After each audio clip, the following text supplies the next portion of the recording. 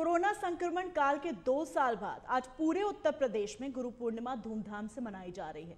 चित्रकूट, कानपुर, गोरखपुर, प्रयागराज, वाराणसी और मथुरा के मंदिरों में सुबह से ही भक्तों और अपने गुरुओं का आशीर्वाद प्राप्त करने के लिए शिष्यों का तांता लगा हुआ है। बता दें कि मुख्यमंत्री योगी आदित्यनाथ ने प्रदेशवासियों को गुरु पूर्णिमा की शुभकामनाएँ देते हुए कोरोना प्रोटोकॉल का पालन करने की अपील की।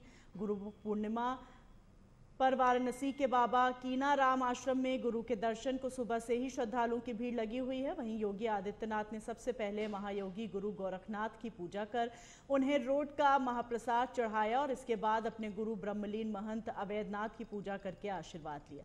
इसके बाद देव और समधियों की खास पूजा की, जिसमें कई राज्यों से आए नाथ, योगी, संत, महात्मा और गृहस्थ शिष्य भी शामिल हुए।